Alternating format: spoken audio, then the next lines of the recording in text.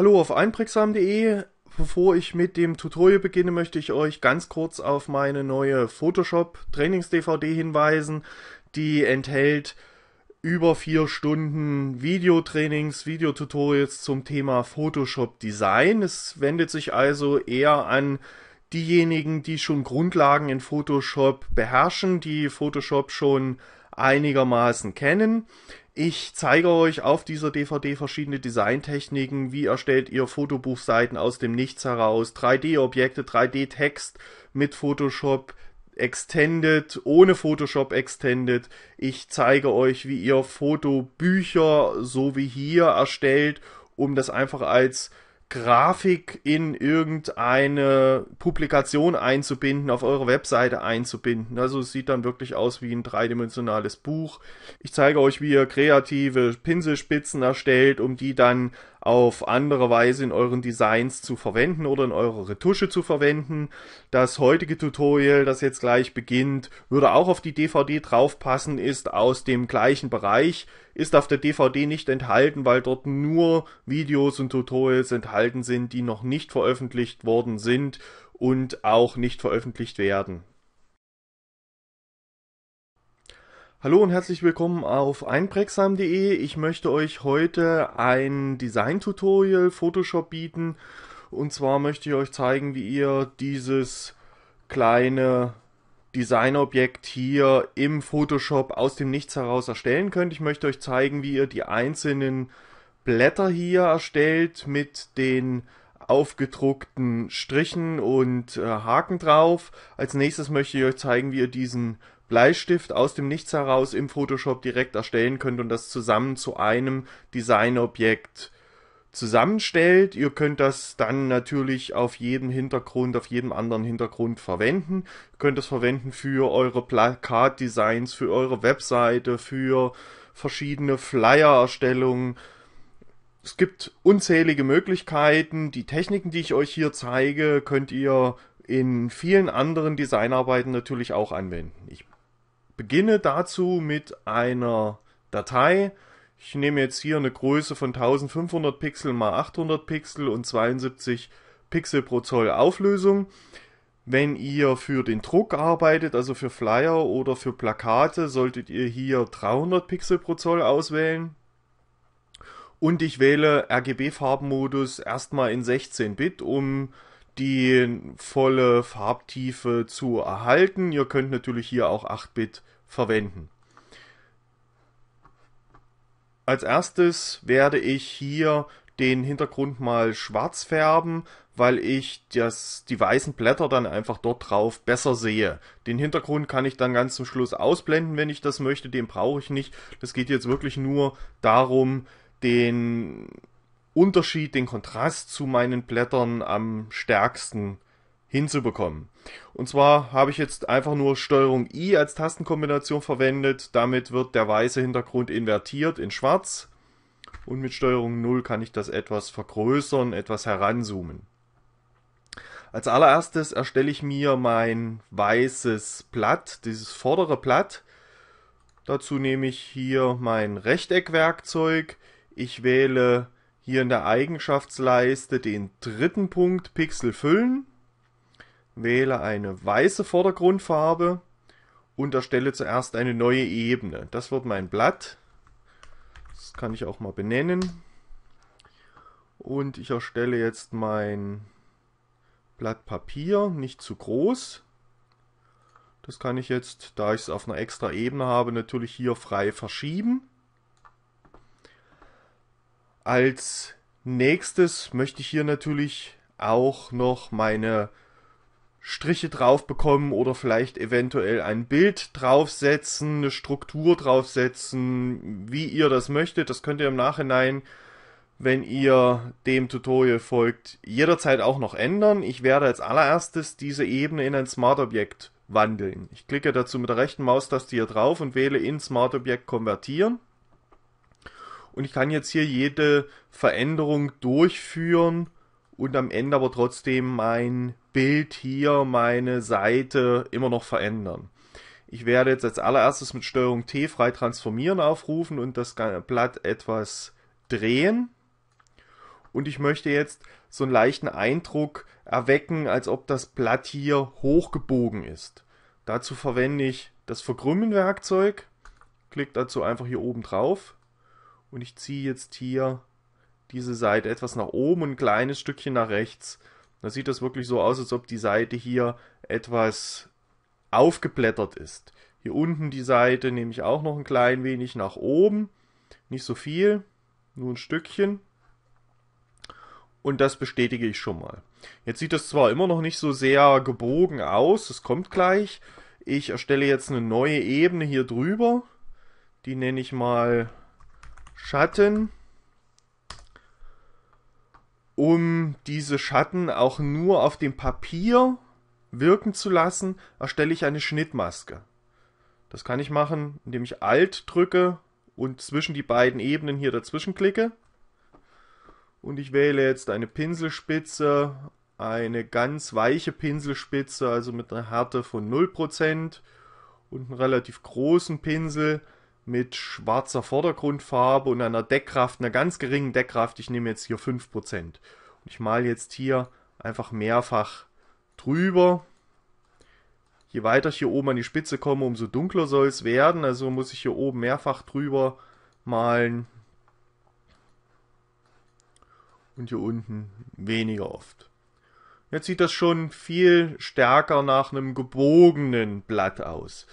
Das kommt noch stärker zum Tragen, wenn ich jetzt die Struktur des Blattes noch mitsehe. Um die Blattstruktur bearbeiten zu können, braucht ihr jetzt nur einen Doppelklick auf das Smart-Objekt hier zu machen. Bestätige das Ganze. Es öffnet sich das Smart-Objekt in einer extra Datei. Ich kann nochmal mit Steuerung Backspace das Ganze mit weiß füllen, um einen weißen Hintergrund zu bekommen. Und jetzt beginne ich hier mit meinen Strichen auf dem Papier. Ich werde dazu auch erst wieder das Rechteckwerkzeug verwenden. Ich möchte erst die Kästchen erstellen. Stelle wieder eine neue Ebene. Halte die Großschreibtaste fest und ziehe mir hier ein Quadrat auf. Durch die festgehaltene Großschreibtaste wird das genau ein Quadrat. Das ist jetzt zwar schwarz, aber das ist nicht weiter tragisch, das ändern wir gleich. Ich werde jetzt hier einen Ebenenstil hinzufügen. Ich mache dazu einen Doppelklick auf den blauen Bereich dieser Ebene und es öffnet sich die Ebenenstilpalette. Ich möchte als allererstes eine Kontur hinzufügen. Dazu klicke ich hier mitten auf den Bereich Kontur, wähle eine rote Farbe aus, seht jetzt hier schon die Kontur außenrum. Ich möchte aber die Kontur auf innen stellen, um wirklich eckige Kanten hier zu bekommen. Ich möchte nicht diese abgerundeten Kanten haben. Und die Größe der Kontur stellt ihr jetzt nach euren Wünschen ein, so dass es euch zusagt. Ich lasse das jetzt auf 3 Pixel stehen, bestätige das mit OK und verringere jetzt hier die Flächendeckkraft. Was passiert? Wenn ich die Deckkraft auf Null stelle, wird diese schwarze Füllfläche komplett durchsichtig. Ich sehe sie nicht mehr, aber dieser Ebenenstil, der Rahmen bleibt erhalten, während ich bei der Verringerung der Deckkraft hier sowohl den äußeren Rahmen als auch die schwarze Farbe in der Deckkraft verringere. Also zieht ihr einfach nur die Flächendeckkraft hier runter und ihr behaltet den Ebenenstil. Das ist schon mal eines dieser Objekte, die ich haben möchte. Jetzt möchte ich hier noch vier weitere oder drei weitere hinzufügen. Mit Steuerung Alt T rufe ich frei transformieren auf und ich halte die Großschreibtaste fest und drücke auf die Pfeiltaste nach unten und verschiebe einfach dieses Objekt hier so weit nach unten, wie ich das möchte. Drücke auf die Enter-Taste und habe die erste Kopie erstellt. Jetzt kommt ein kleiner Trick. Alt, Steuerung, Shift und T. Wiederholt das Ganze, verschiebt nochmal ein drittes Objekt in genau der gleichen Entfernung und ich drücke nochmal Steuerung, Alt, Shift und T und ich habe jetzt hier meine vier Objekte stehen. Möchte als nächstes hier die ersten beiden mit einem Haken versehen, so dass es aussieht, als ob diese To-Do-Liste hier schon abgearbeitet wurde. Ich erstelle wieder eine neue Ebene und wähle jetzt hier nicht das Rechteckwerkzeug, sondern das eigene Formenwerkzeug. Und ich wähle mir in diesen Formen hier oben in der Eigenschaftsleiste den Haken aus. Wenn ihr hier weniger Objekte habt, klickt auf diesen kleinen Pfeil und wählt hier den Punkt Alle aus. Bestätigt das Ganze mit OK und ihr habt dann hier irgendwo zwischendurch auch diese Hakenform. Schwarze Vordergrundfarbe ist okay und ich ziehe das Ganze jetzt hier auf. Wenn ihr nicht genau in der richtigen Richtung seid, könnt ihr die Leertaste drücken. Solange ihr die Maustaste festhaltet, könnt ihr jetzt das Objekt verschieben. Ich lasse die Leertaste gehen und sage, lasse die Maustaste gehen und drücke STRG J, mache eine Ebenenkopie und verschiebe das Ganze hier nach unten und habe jetzt meine beiden Haken hier drauf. Als nächstes möchte ich hier natürlich auch noch Linien hineinbringen. Dazu habe ich hier das Linienzeichner Werkzeug. Ich wähle jetzt hier auch eine Dicke von 3 Pixeln, genauso dick wie hier die Linienstärke des Kastens gewesen ist. Ich erstelle wieder eine neue leere Ebene und darf natürlich nicht vergessen, die Farbe einzustellen. Ich möchte jetzt hier eine rote Linie haben und ich beginne jetzt hier eine gerade Linie zu ziehen. Ich klicke erst mit der Maustaste, halte die Maustaste fest, ziehe nach rechts. Ihr seht, es geht relativ schnell, dass ich hier nicht mehr in der waagerechten bleibe. Wenn ich jetzt die Maustaste festhalten, auf die Großschreibtaste drücke, seht ihr hier, ich bekomme wirklich eine genau waagerechte Linie hin. Also haltet die Großschreibtaste fest, lasst zuerst die Maustaste gehen, dann könnt ihr die Großschreibtaste wieder gehen lassen und ihr habt eine genau waagerechte Linie. Das gleiche funktioniert auch mit einer senkrechten Linie, seht ihr gleich.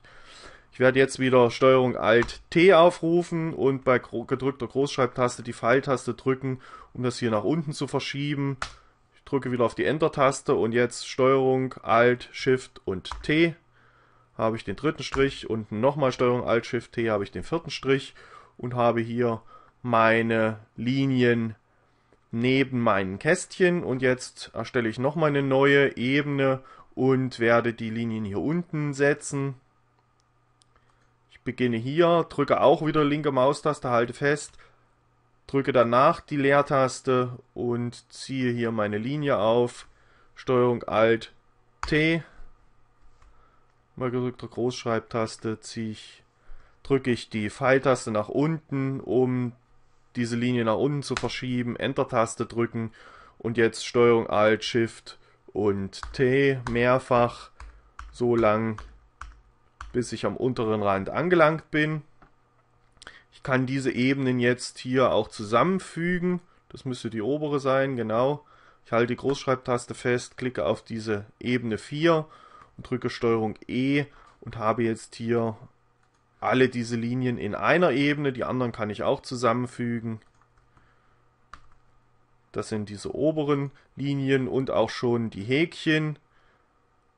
Und dann kann ich das auch komplett hier zusammenfügen. Das ist der komplette obere Bereich. Ich möchte hier jetzt noch so ein paar Unterbrechungen reinbringen, um das etwas aufzulockern. Dazu werde ich einfach auf die weiße Farbe wechseln, eine neue Ebene erstellen und mit einer weißen Linie hier das Ganze etwas unterbrechen. Und ich halte jetzt auch wieder Steuerung Alt T fest, Großschreibtaste festhalten und Pfeiltaste nach rechts klicken. Und ja, das ist ein bisschen Jetzt lasse ich Großschreibtaste mal gehen und verschiebe das noch etwas mit den Pfeiltasten. Da verschiebe ich das nur ein kleines Stück. Jetzt drücke ich die Enter-Taste und jetzt halte ich wieder Steuerung Alt Shift fest und drücke mehrfach auf die Taste T und bekomme hier diese Unterbrechungen in meine Linien hinein. Und jetzt kann ich das Ganze wieder verbinden mit Steuerung E und habe das jetzt als eine Ebene. Das ist schon mein Text. Hier könnt ihr natürlich auch Logos noch mit einbinden, irgendwelche Strukturen mit einbinden. Wenn ihr möchtet, könnt ihr dem Papier noch eine Papierstruktur geben. Das bleibt alles euch überlassen. Ich möchte es jetzt hiermit belassen. Ich gehe jetzt auf Datei, speichern, kann das jetzt schließen und ihr seht, ich komme jetzt hier zurück auf das Blatt Papier, das wir vorhin erstellt haben. Und ihr seht, dass die Linien jetzt hier auch mit gebogen sind schon. Und durch diese Abschattung hier oben drüber sieht das wirklich aus, als ob das Papier hier nach oben gebogen ist. Das Ganze könnt ihr hier unten natürlich auch noch etwas abschatten, wenn ihr möchtet. Dazu braucht ihr einfach nur wieder die Pinselspitze, schwarze Vordergrundfarbe und 5% Deckkraft und malt wieder auf dieser Schattenebene hier einfach mehrfach drüber. Um jetzt hier mehrere Blätter hintereinander zu bekommen, gehe ich folgendermaßen vor. Ich füge diese beiden Ebenen hier zusammen zu einer neuen zu einem neuen Smart Object. Ich klicke dazu mit der rechten Maustaste hier drauf, sage in Smart Object konvertieren und habe jetzt hier meine Blattebene, die nenne ich auch wieder um. Blatt.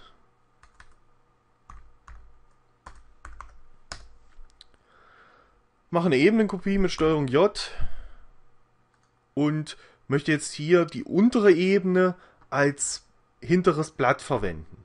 Da brauche ich kein Smart Object mehr, dazu rastere ich diese Ebene wieder, rechte Maustaste, Ebene rastern.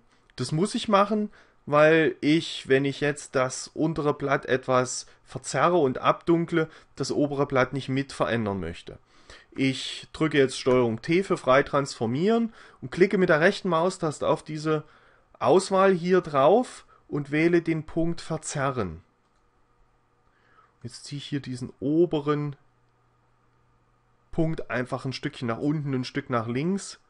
Momentan sieht man hier noch keinen Unterschied, weil das hintere Blatt fast die gleiche Farbe hat wie das vordere Blatt. Deshalb habe ich das hier jetzt ein kleines Stück erstmal gezogen. Hier unten kann ich das auch noch ein kleines Stückchen ziehen. so dass man das wirklich nur ein Stückchen sieht. Und ich bestätige das. Das hintere Blatt sieht man jetzt nicht so sehr schön, deshalb möchte ich das etwas abdunkeln. Dazu rufe ich einfach die Tonwertkorrektur auf, Steuerung L. Und ich kann jetzt hier mal versuchen, das Ganze etwas abzudunkeln. Ich ziehe einfach den mittleren Regler hier ein Stückchen nach rechts. Und ihr seht, dass dieses hintere Blatt jetzt auch gut zu sehen ist.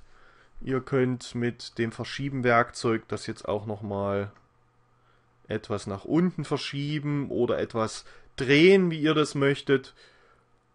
Probiert es einfach aus. Ich werde nochmal Steuerung J drücken und wieder das untere Blatt verwenden. Wieder Steuerung T aufrufen, rechte Maustaste verzerren. Ich werde das Ganze jetzt hier an der noch ein Stückchen nach unten ziehen, hier etwas nach oben und hier wieder etwas nach außen. Bestätige das Ganze, drücke wieder Steuerung L und dunkle das Ganze nochmal ab. Habe jetzt hier drei Blätter hintereinander, die etwas aufgeblättert sind. Als nächstes möchte ich hier noch den Bleistift erstellen. Den erstelle ich in einer neuen Datei, Datei neu, kann jetzt hier ruhig die gleichen Größen verwenden wie die Ausgangsdatei. Ich erstelle eine neue Ebene, wähle mir mein Rechteckwerkzeug und rote Farbe. Ich möchte jetzt einen roten Stift erstellen und beginne jetzt hier erstmal das Grundgerüst des Stiftes, den Außenbereich zu erstellen. Einfach ein Rechteck. Mit Steuerung T rufe ich frei transformieren auf mit Steuerung Plus kann ich ein bisschen näher ranzoomen. Ich wähle jetzt das Verkrümmen-Werkzeug und ziehe hier diese mittlere Seite etwas nach außen. Nicht, den Punkt wollte ich nicht, diese mittlere Linie. Das ist ein bisschen tricky, das Ganze. Einfach ein bisschen, genau, hier ein bisschen weiter reingehen mit der Maus und das nur ein bisschen nach links ziehen. So dass es hier eine leichte Abrundung bekommt. Dass es wirklich auch rund aussieht der Stift am hinteren Ende. Als nächstes kümmere ich mich um den Bereich hier vorne. Ich werde erstmal hier eine Hilfslinie rausziehen, um genau den Mittelpunkt des Bleistiftes zu finden Und ich werde jetzt hier das Ganze leicht mit einem Radiergummi ausradieren. Dazu zoome ich mal etwas näher heran. Und ich gehe jetzt hier mit dem Radiergummi mit einer etwas härteren Pinselspitze, einer etwas kleineren, gehe ich jetzt hier ran und nehme mir hier zwei so kleine Täler raus, so dass es wirklich auch aussieht wie ein angespitzter Bleistift. Und als nächstes erstelle ich eine neue Ebene. Verwende mein Polygonlasso-Werkzeug und möchte jetzt die Spitze hier ranbringen. Beginne mal hier auf der Seite. Ich gehe erstmal ein Stückchen raus. Gehe dann hier vor bis in die Mitte. Gehe wieder hier auf den Bereich, ziehe das ganze Stück rein und hier gehe ich jetzt großzügig über den Bleistift drüber und suche mir jetzt erstmal eine Farbe. Ich verwende jetzt hier so ein leichtes Ocker.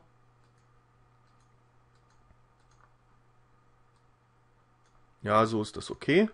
Habe das als Vordergrundfarbe mit Alt, Backspace. Fülle ich jetzt diesen Bleistift. Mit Steuerung D rufe ich, hebe ich diese Auswahl auf und ich schiebe diese Ebene einfach unter die Bleistiftebene und habe jetzt hier schon meine Spitze. Als nächstes werde ich hier drüber noch den, die Stiftspitze erstellen, also wieder eine neue Ebene. Ich kann das mal ein bisschen benennen. Spitze, das ist Spitze schwarz. Und das ist der Bleistift. Die schwarze Spitze, da verwende ich einfach mein Ellipsenauswahlwerkzeug und ziehe mir hier so eine leichte Ellipse auf, fast ein Kreis. Werde hier das Ganze mit Schwarz füllen, also werde ich wieder schwarze Vordergrundfarbe auswählen und Alt Backspace drücken. Steuerung D hebe ich die Auswahl auf. Und hier zeige ich euch jetzt gleich die Wirkungsweise der Schnittmaske, die wir ja vorhin schon mal angewendet haben. Ich habe jetzt hier natürlich viel mehr gemalt. Ich habe jetzt hier einen großen schwarzen Kreis. Es soll natürlich eine Spitze werden. Wenn ich die Alt-Taste wieder festhalte und klicke hier zwischen diese beiden Ebenen, also zwischen diese Ebene mit dem schwarzen Ball und der Spitze, dann wird eine Schnittmaske erstellt und dieser schwarze Bereich ist nur da zu sehen, wo in der unteren Ebene auch wirklich Pixel sind, also wo hier diese ockerfarbene äh, Spitze zu sehen war. So kann man relativ schnell hier so eine schwarze Spitze genau da drauf anzeichnen, ohne dass ich das jetzt nochmal maskieren muss. Als nächstes möchte ich das Ganze natürlich etwas dreidimensionaler darstellen. Ich fange mit der Spitze an, wähle mir hier mein Nachbelichterwerkzeug, habe eine Belichtung von 20% und habe hier gewählt Lichter. Ich beginne jetzt hier einfach mehrfach drüber zu malen. Ihr seht, ich dunkle damit diesen äußeren Bereich ab. Das gleiche mache ich hier unten und dadurch bekommt die Spitze schon eine gewisse Tiefe, wenn der Mittelpunkt hier etwas heller ist. Das gleiche mache ich jetzt mit dem restlichen Stift. Steuerung 0 kann ich wieder rauszoomen und ich gehe jetzt hier auf meinen Bleistift und ich beginne jetzt hier gerade Linien zu ziehen und die äußeren Ränder abzudunkeln. Wie kriege ich wieder gerade Linien hin? Das haben wir vorhin gesehen. Ich klicke einmal hier, halte die Großschreibtaste fest und klicke hier drüben. Klicke wieder hier, klicke wieder drüben und jedes Mal wird eine komplette Linie einmal rübergezogen. Ihr seht das schon, es wird immer dunkler hier. Das gleiche mache ich hier unten. Ich klicke hier einmal großzügiger. Und jetzt fange ich weiter unten an, klicke hier wieder und nehme nur das letzte kleine Stückchen, das ich nochmal abdunkeln möchte. Ich möchte, kann ich auch nochmal hier drüber gehen, um das Ganze schön abdunkeln zu können. Wenn ihr möchtet, könnt ihr jetzt hier noch einen Schriftzug aufbringen. Ich verwende jetzt hier die Farbe von dem Stift, vielleicht etwas heller.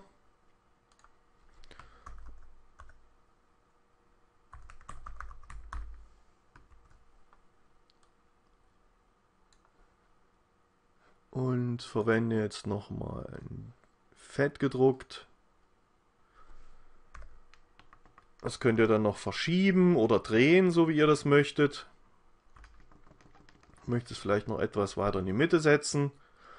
So ist das okay. Ich kann jetzt diese Ebenen zu einer Ebene zusammenfügen. Ich markiere einfach die Ebenen und drücke STRG E und habe meinen Bleistift, den ich jetzt mit dem Verschieben-Werkzeug in meine Komposition hier hineinziehe.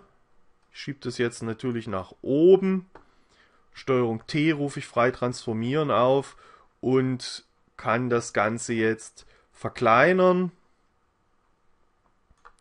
und natürlich auch drehen und lege das jetzt hier auf mein Blatt drauf. Doppelklick, damit das nicht so einfach davor gesetzt aussieht, möchte ich jetzt auch noch einen leichten Schatten dahinter bringen. Dazu werde ich wieder einen Ebenenstil erstellen. Ich mache einen Doppelklick auf die Ebene und setze hier einen Schlagschatten und habe jetzt hier Abstand von 5 Pixeln ist ganz okay und die Größe von 5 Pixeln auch. Vielleicht nehme ich hier die Deckkraft noch etwas runter, damit es nicht ganz so stark aussieht. Mit OK bestätige ich das und habe jetzt hier meinen Bleistift drauf liegen. Wenn ihr den Hintergrund einfach ausblendet, könnt ihr das Ganze jetzt zu einer Gruppe zusammenfügen oder zu einer kompletten Datei zusammenfügen, wenn ihr das nicht mehr ändern möchtet.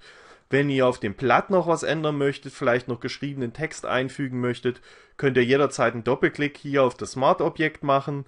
Es öffnet sich wieder das Blatt. Erstmal dieses geschwenkte Blatt mit dem Schatten drauf, dann müsst ihr nochmal hier draufklicken.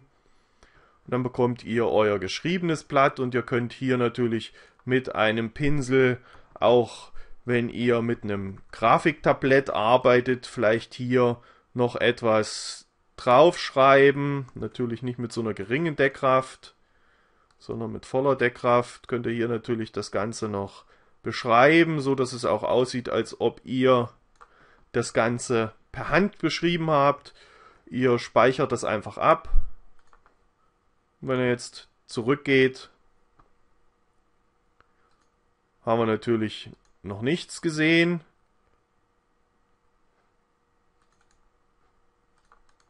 Ich muss natürlich erst wieder auf das die zweite Smart Objekt, das auch abspeichern und jetzt kommen wir auf das Blatt zurück und ich habe jetzt hier auch meinen Text drin. Wenn ihr fertig seid, fügt ihr die Ebenen einfach zusammen, entweder zu einer Gruppe mit Steuerung G, dann könnt ihr die auch mit dem Verschieben-Werkzeug hier verschieben. Ihr bleibt trotzdem hier immer noch so frei, dass ihr die hier die, das Blatt jederzeit ändern könnt. Oder ihr fügt das zu einer Ebene zusammen, indem ihr Steuerung E drückt und habt jetzt nur noch ein Objekt, das ihr dann natürlich nicht mehr ändern könnt, aber ihr könnt es wunderbar für eure Designs verwenden. Das war's für das heutige Tutorial. Ich hoffe, es hat euch gefallen, das erste Tutorial im neuen Jahr. In den nächsten Tutorials werde ich noch mehr auf diese Design-Objekte eingehen und werde da noch mehr zeigen im Photoshop. Mit Lightroom und GIMP geht es dann in zwei Wochen erst weiter.